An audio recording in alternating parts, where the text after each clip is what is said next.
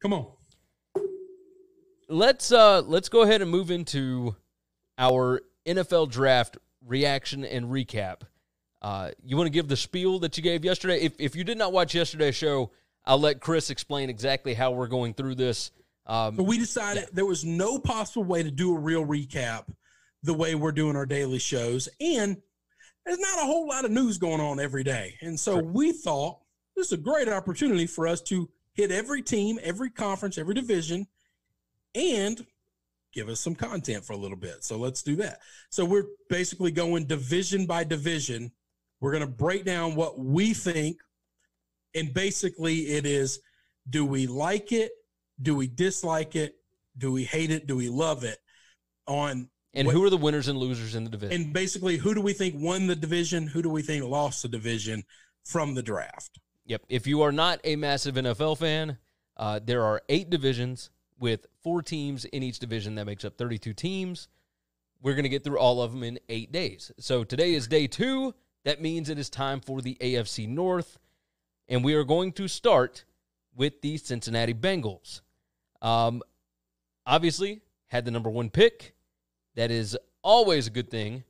They they got Joe Burrow in the second round. They got Tee Higgins in the third round. They got Logan Wilson out of Wyoming, a linebacker.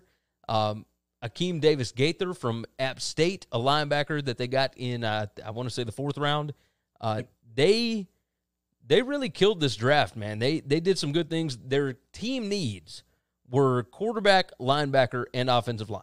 Now, if you are an Andy Dalton believer, then you could say that they really didn't need a quarterback. But I think it was pretty well proven that they needed new blood at the position. I don't think anybody. Um, I don't think anybody is an Andy Dalton believer. I, I, believe in the Red family Rocket. is not an Andy Dalton believer. I believe in the Red Rocket. I think that he could do wonderful things with your Patriots, but we'll see. You're going to stand on that island alone, and we'll never find out if it's true or not. Yeah, no, because he, he's not going to go there. so, um, but I, I thought Andy Dalton was was okay. I don't think he's as good okay. as Joe Burrow. I don't. I'm not disagreeing the fact that he's okay. The problem, the reason they've been mediocre for a decade is because Andy Dalton's okay. Yeah, I, and and you're 100 percent right. Um, you know how I feel. He's he's the quarterback that I point to and say, I don't want this guy. Yeah. I don't want him because he'll never be so bad where I get the first pick overall. But he'll never be great and win a Super Bowl or a playoff game ever in his life. Yeah, he he's never I, won a playoff. I would game. rather boom or bust at the quarterback position more than any other position. Yeah. Um, I need to know in two or three years, am I shooting you in the head or am I giving you the keys to the franchise? The That's it. the Bengals uh, as far as the huddle report goes, they are sixth in the NFL in this draft as far as getting value for their picks. Every single pick that they made had value, which is, and, and, this is according to the huddle report's, you know, top 250 list. Uh, that's pretty impressive, you know, and not, not that they were paying attention to the huddle report, but, um, I mean, they also got an A from Pro Football Focus.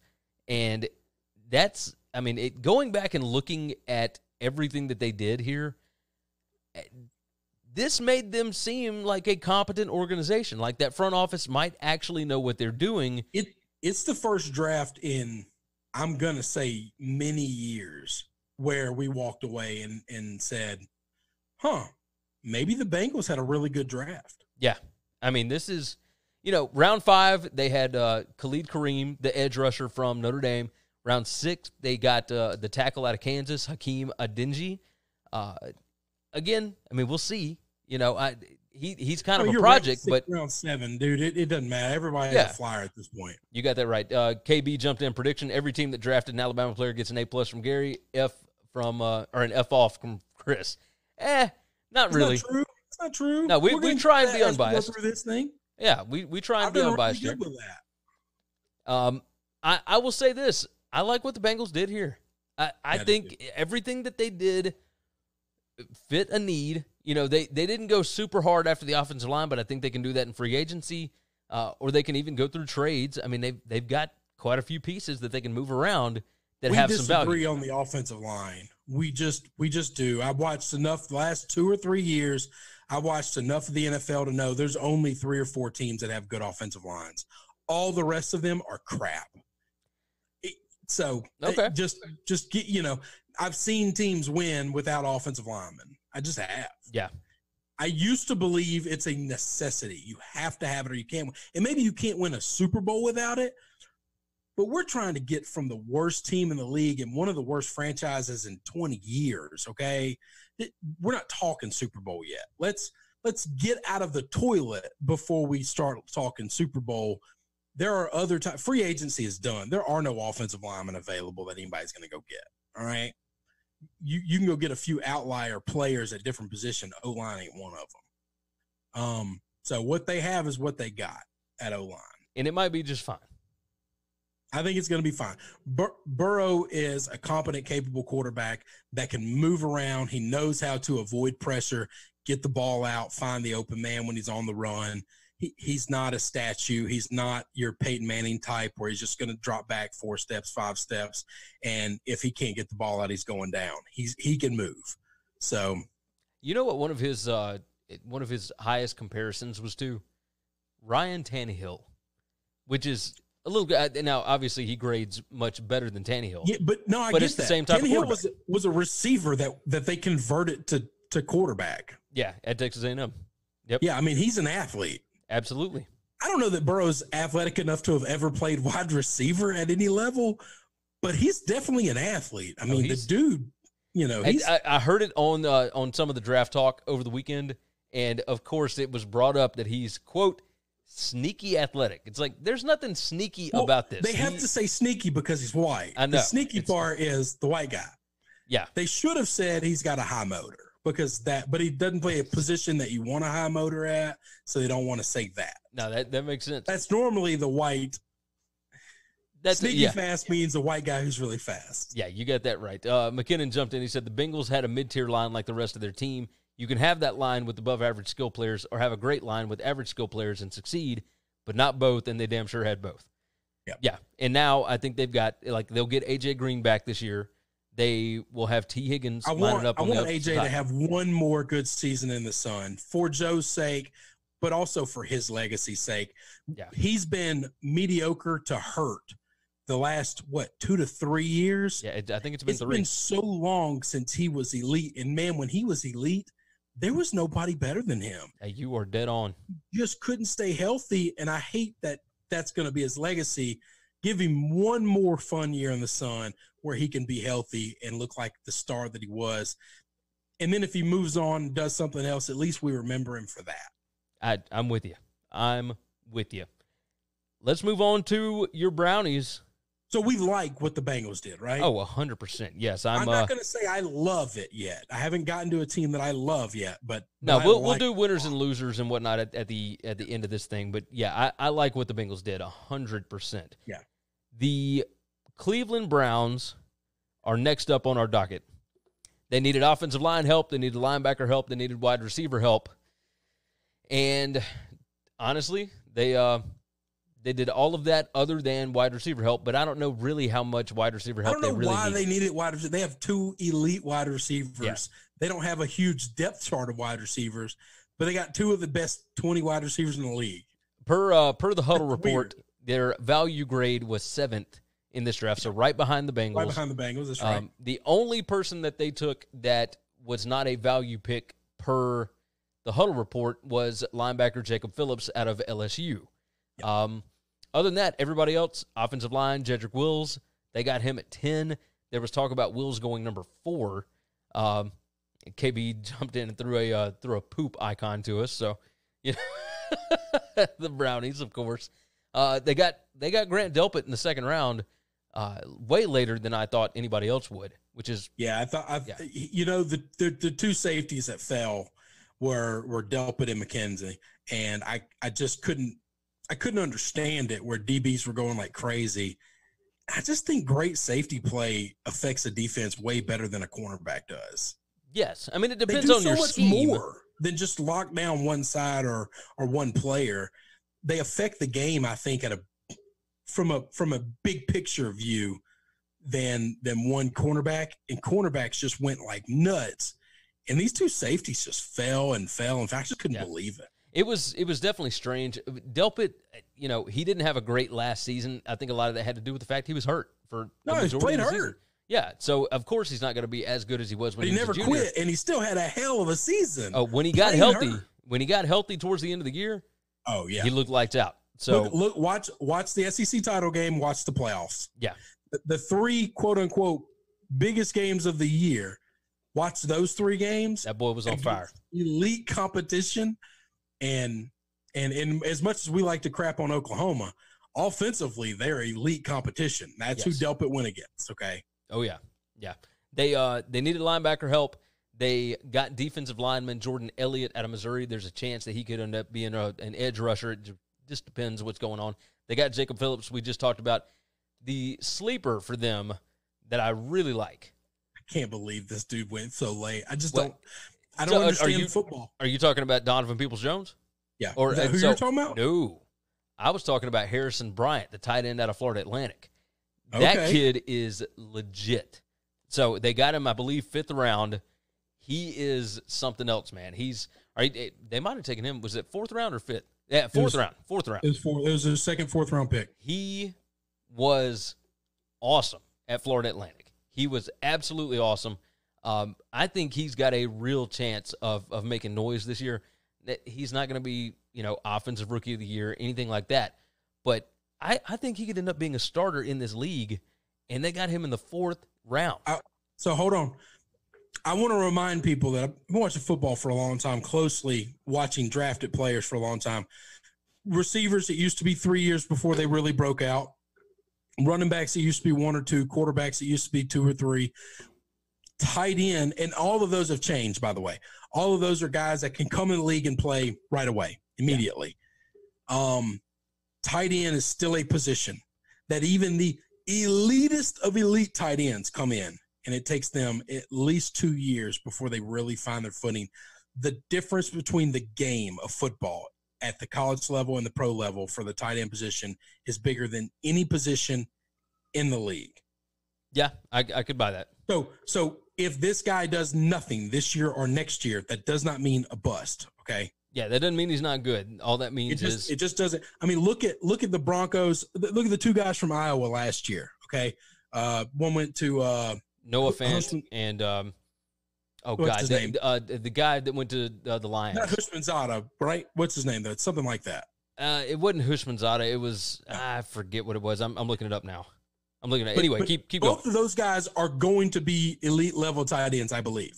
And last year they were okay, but but they're rookies at the tight end position, and it's just a really big adjustment. Big, big, big adjustment. It takes two to three years to figure that thing out. Yeah, it sure does. It sure does. But I, I do think so. Going back to that Harrison Bryant, I do think that he. Um, I think he that. has a good chance. Uh, go. Nick Nick Harris out of Washington, interior offensive lineman. Uh, good value pick. I mean, absolutely value Yeah. pick. He was he was dominant for the Huskies.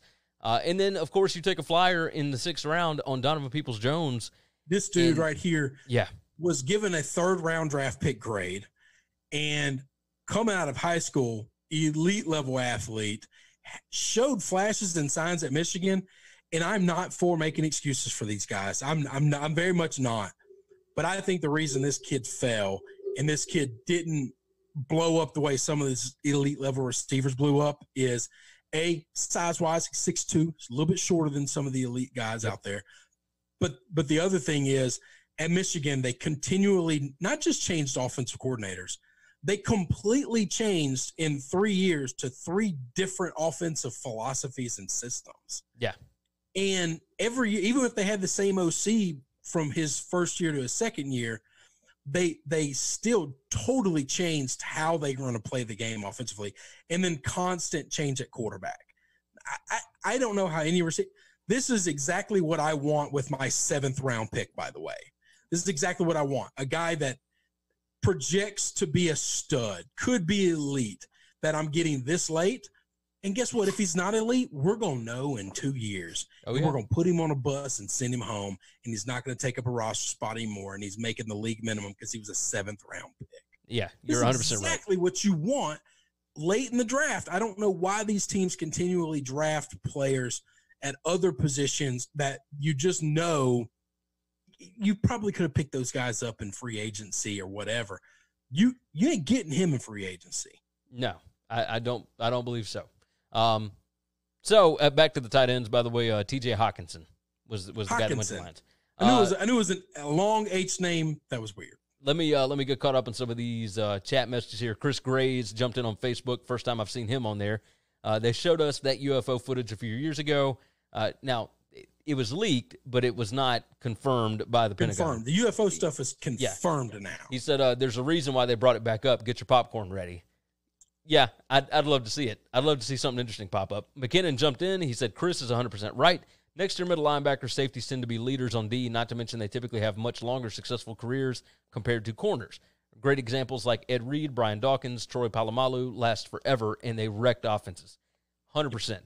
Uh, Yeah, Michael, Honey, the Honey Badger went to Oh, yeah. one of the worst defenses in all of football. Other than that, they didn't really lose a lot or change a lot. Dee Ford got out of there, but they didn't replace him with anybody special. Yeah. And he didn't make that defense elite, but he made just enough big plays to slow teams down, to get them to punt instead of getting an extra first down. I, I just don't understand why the league is just gone just cornerback crazy and safeties are falling by the wayside, man. Yeah. Oh, it's it's crazy. Uh, Michael Fritch on Twitch said Fant got banged up, but had a pretty good season for a rookie. McKinnon jumped in and said, "Did Moss Jr. ever get picked up?" And then just say no to drugs on Twitch. Another new follower uh, said Thad Moss went to the Redkin, uh, Redskins. So yeah, he got picked up as an undrafted free agent. I wanted So- him to get drafted so bad. Oh, I wanted to get drafted so bad. Um, as far as the Browns go, like dislike, I I'll tell you mine. I I like what they did. Yeah, That's I, I thought it was pretty good. Um, I, I, I did too. I did too. Let's move on from there. We will move into the Baltimore Ravens. Now, they needed linebacker help, maybe not much. Uh, they needed edge rushing help, maybe not much.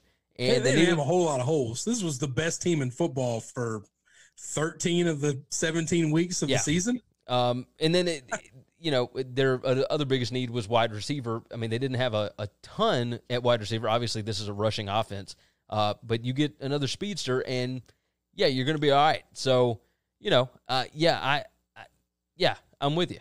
So, what did they do? They went out. They got Patrick Queen, linebacker out of LSU, in the first round. They got J.K. Dobbins out of Ohio State, uh, running back in the second round. They picked up a defensive lineman, Justin Madubuike from Texas A&M, and he was kind of a stud. He he's one of those projects you're going to have to stay on him. You know, You're to stay on him, but that guy's a monster. yeah. Uh, Devin Duvernay, Athletic wise, size wise, strength oh, wise, he's unbelievable. ain't a whole lot. You, he's a guy that you got to watch, but man, he's got potential to be a beast. Yeah. Uh, just say no to drug said just because you dominate opponents on the schedule doesn't necessarily make you the best team in football. They had clear voids at the wide receiver position.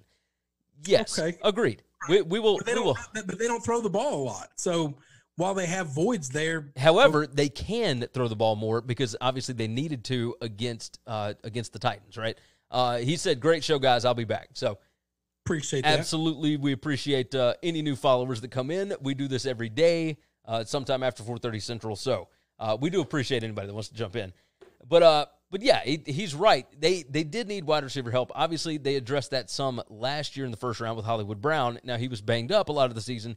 They do have a lot of veteran experience at wide receiver, um, but they they need some younger guys, and they got that. They uh, they went. They got Devin Duvernay in the third round, wide receiver out of Texas.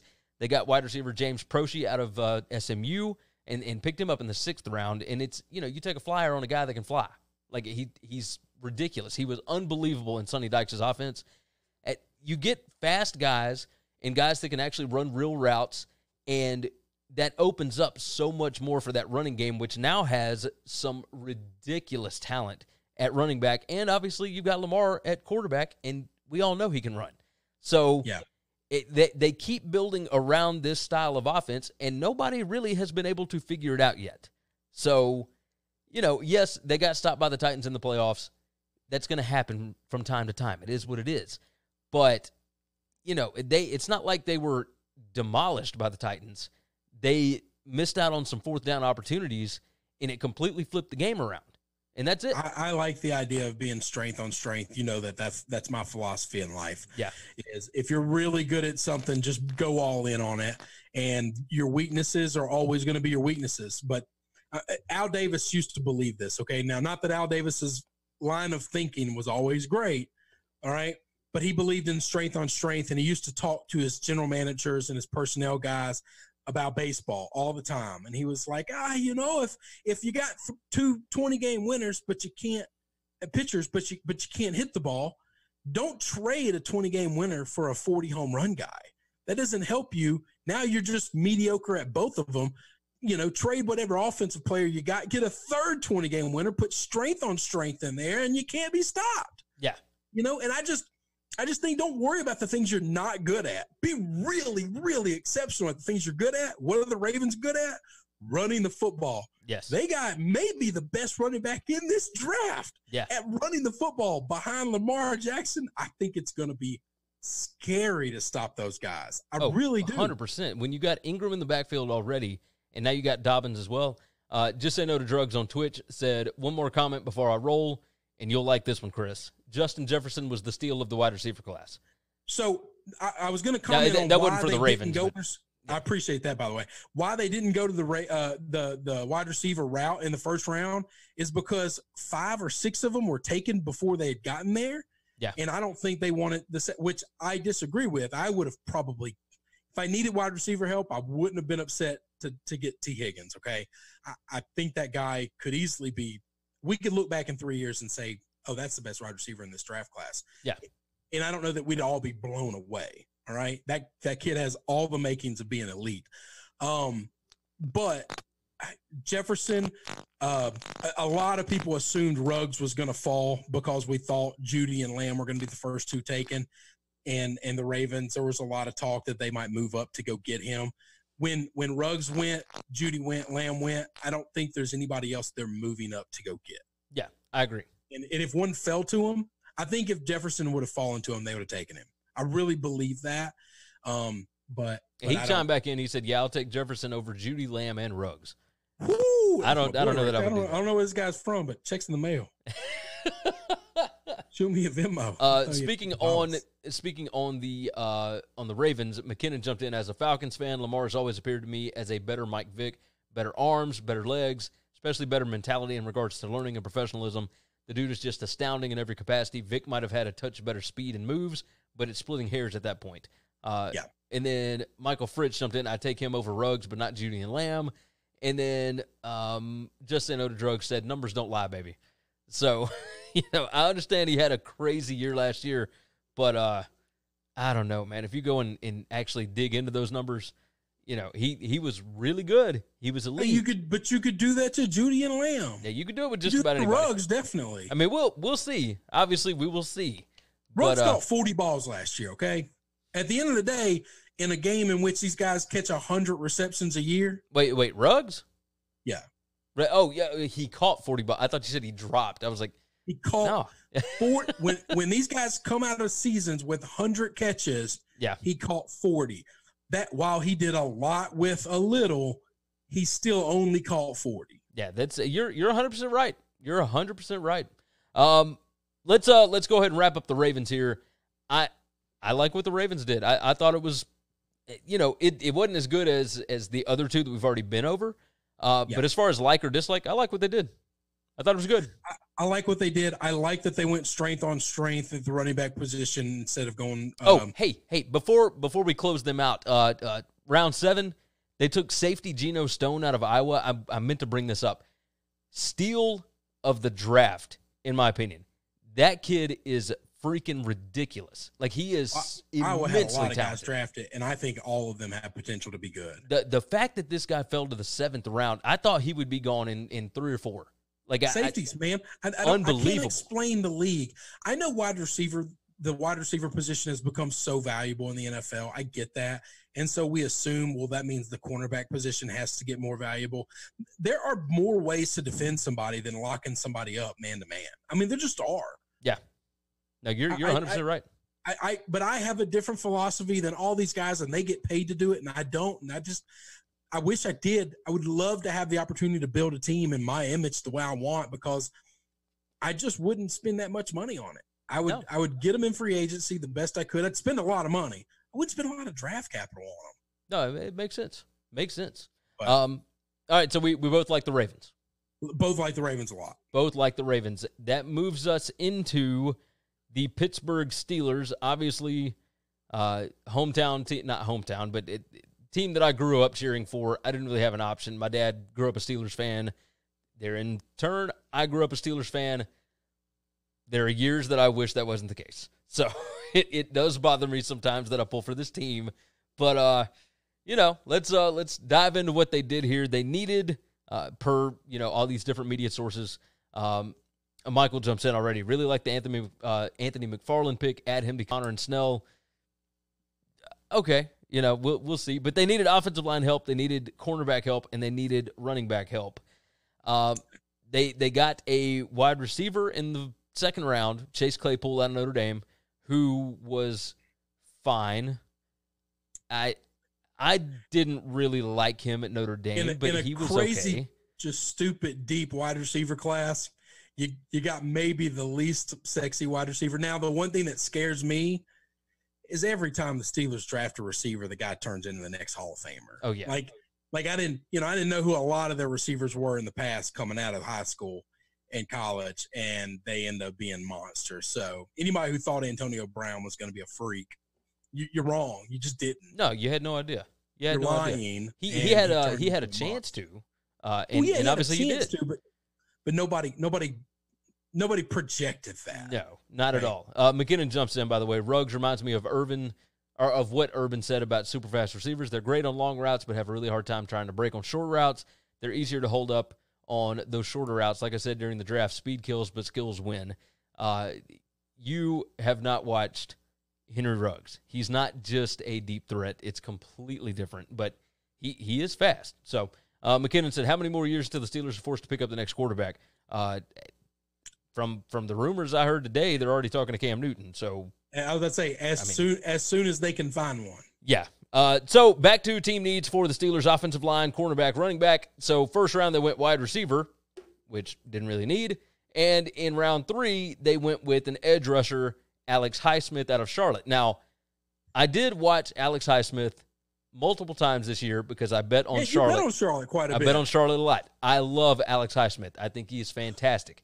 However, they've already got you love the guy that you watched a couple of times at a small school play against other small schools. Well, yeah, like I, I thought it was great. Like I, it, in that setting, I saw him play. I thought it was good. However, you don't need another edge rusher.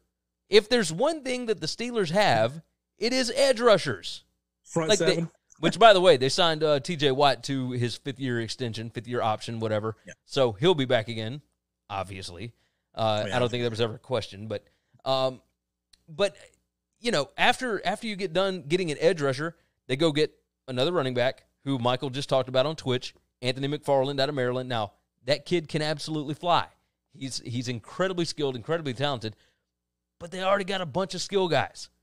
So, okay, like I understand it's a team need, but you got Benny Snell in the draft last year. He was okay.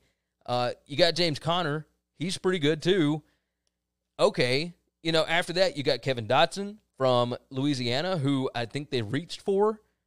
Uh, I mean he's an interior offensive lineman who is big. He's a big old boy, but when you go back and actually do it, and obviously because I'm a Steelers fan, I've gone and watched you know highlights and and the highlights look great on these guys, but if you look at their grades, it's not great, right? So obviously you can you can make highlight tapes out of anybody. Um, so I would love to see Kevin Dotson be you know good, but that's the only offensive lineman that they drafted. They got safety Antoine Brooks out of Maryland. They got uh, uh, defensive lineman Carlos Davis out of Nebraska in round seven. You know, at that point, you're just taking flyers on guys. I, as a Steelers fan, I was not impressed with what they did in the draft. Now, that's you know, I rarely am I impressed with what they do in the draft, and they end up coming out looking like gangbusters typically. They, so- they develop players better than most people in the league. Yeah, I mean they they really do. Um, the issue is so do the Ravens, and that's like, yeah, obviously Oh, the yeah. Bengals. Yeah, the Bengals are getting better. The Browns, I Mm. think, are getting better. Mm. Um, I mean, we'll, Listen, neither the Bengals or the Browns have developed anybody in a long time. They get better because sometimes they've gone out and gotten guys or Yeah. they've drafted guys, but they haven't taken like a two star that, you know, was in college and played pretty well and came in as a six round pick and turned that guy into an everyday starter in my life. Uh, you got a no. You got a valid point. No, no, You got no they valid point. develop people. The Ravens. Well, but here's the thing: they've got they crap all the time. they both got Patriots newer coaching all staffs. the time. Seattle does it all the time. That- the elite teams do it a lot. Yes, but the Browns and Bengals obviously have flipped over front offices, flipped over uh, coaching staffs and whatnot. So, so obviously there is unlimited hope right now, which is always a good right. thing.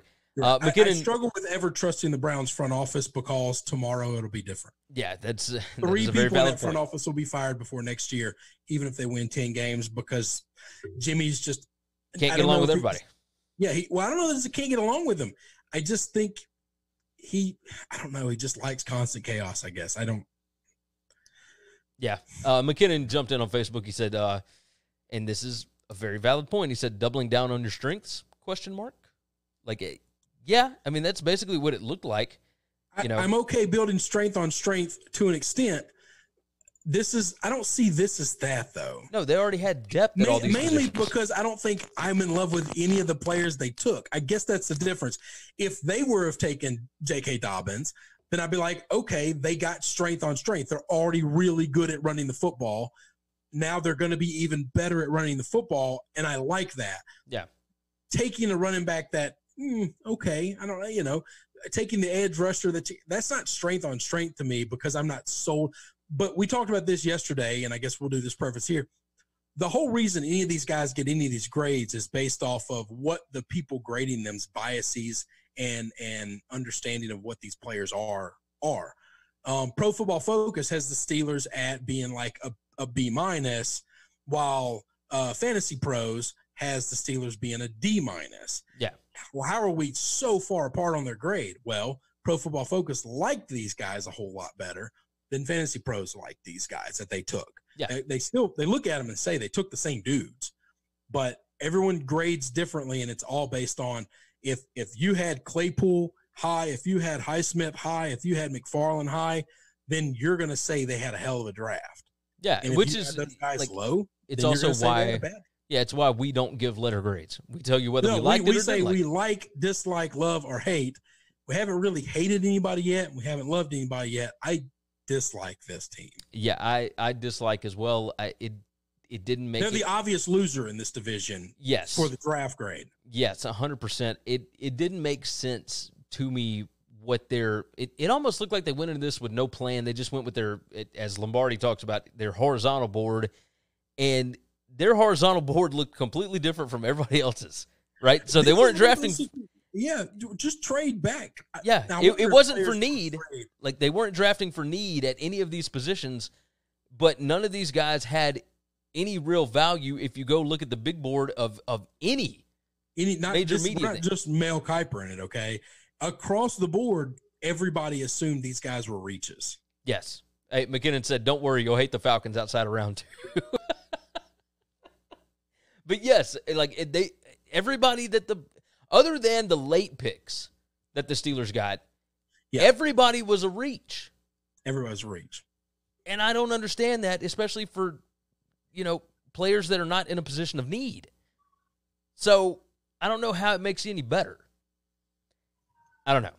It, I, I, none of it made any sense to me. Like, obviously, I'm gonna be pulling for them, and I hope it's, you know, I hope it works out well. I I, I Hmm. thought, and if they if they if this is a team that makes the move for Cam, then that makes all the sense in the world. Um, if not, this was a team that I thought was going to go up and get Fromm or Eason Yeah, yeah. I, I because thought the they same need thing. they need to start looking at life without Ben pretty quickly, and you never want to wait until it's over to do that. I agree hundred percent. Like, it, they, we've been through the Mason Rudolph years. We've been through, oh, not Mason Rudolph years, but uh, but But last yeah, season no, was he's Mason done. He can't do it. Yeah, uh, but uh, well, who was Landry the guy? Landry, Landry. Jones. Yeah, Landry Like you, Jones. you know, you know, right now you have enough tape on both those guys to know you don't want them on your roster. Yeah. they don't need to be there. They can't do it. You're 100 percent right. You're 100 percent right. It, it's those guys are not your your quarterbacks of the future. Uh, Duck Hodges definitely not it.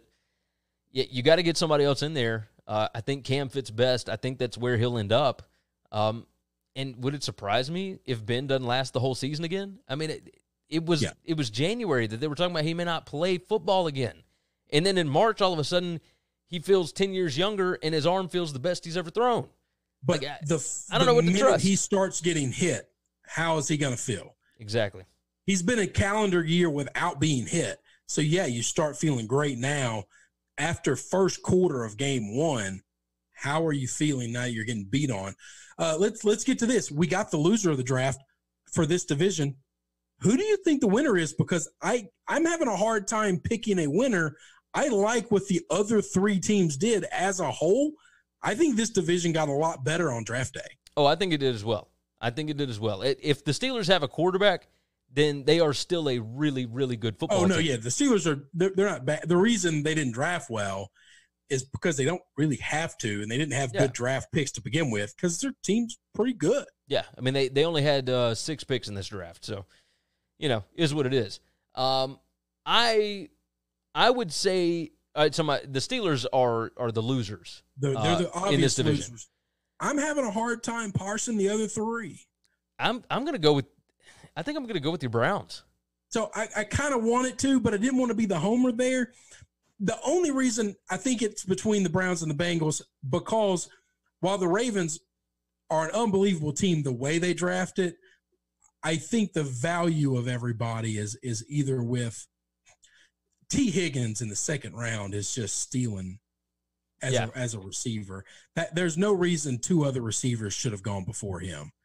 That there's just there's just no way you can quantify how you looked at his Jalen. Reagor or uh, Yeah. Brandon Aiyuk or Aiyuk, whoever yeah. else. Yeah. Yeah, the, the, the- it's just I just can't I can't get there. Well, the Okay, I only didn't have reason those guys- Yeah, they, they got drafted the because of tape and the highlights from those guys, and I, I just can't get there. The the only reason they got drafted high is because of their speed. That is it. That's the only oh, thing. there's so much more to football than that. I know. I, I know, that it's important. Well, but, but this I is mean, this is kind of like when everybody Julio was anywhere close to the fastest receiver in football anymore? no, but but, But nobody listen, wants to go against him, right? He's still a monster. exactly. It, here's the deal, though. Sean It- Hopkins. How long has Larry Fitzgerald been great, and he hasn't been elite level speed since his rookie year? I mean, it, it, in over a decade. Uh, I but just no, don't look, look, look, understand. it is it's different, and and here's why these teams are doing this. You saw this not this past season, but the season before. Everybody wanted a piece of Sean McVay, right? Everybody was hiring Sean McVay's laundry guy and whoever else. Yeah. The Chiefs just won the Super Bowl with speed on speed on speed on speed, But right? their offense is built completely different than everybody else's. If you're not going to spend the next 10 years completely deconstructing the way you play football and building it in that image, then just drafting like them is going to make you fall on your face. But they made everybody believe that you have to have that deep play threat, and the guys that drafted these guys didn't have it. Uh, Michael Fritz jumps in on Twitch. By the way, Baltimore wins the draft and probably the division. I hope the others keep it close. well, I think that I think they're going to win the division. I don't know if that's going to be close. I'd love to see them not win it. Yeah. but I think they're the far and away best team. That's why I'm trying to. I, I don't know that they won the draft out of this division, but I'm trying to I- take away the fact that they have Lamar, they have a great offensive line, they have Hollywood Brown, uh, Hollywood Brown. Like those can't affect my decision in this. Yeah, agreed, agreed. Um, yeah, Michael said everyone's looking for the next uh, the next hill. Yeah, I mean that's that's what this is. Um, well, if you're not going to run an offense like like they run, Hill's really not that valuable. yeah, and I agree hundred percent. I mean, there's 20 receivers. If Hill was on any other offense, there's 20 receivers better than him. Yeah. Hill's elite because of the play calling and the way the offense is designed by Andy Reid and the and the the, the chess pieces they have on offense and Patrick Mahomes. If you don't have Patrick Mahomes as a quarterback, then Hill's Hill's value goes way down. What Yeah. he looked like the couple of games Mahomes didn't play.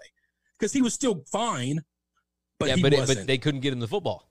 He wasn't elite. That's right. Like all his skills go away. If you think Derek Carr is going to get Ruggs the football deep all day long, you It's haven't not gonna happen. football the last three years. It's just not going to happen. It's just not going to happen.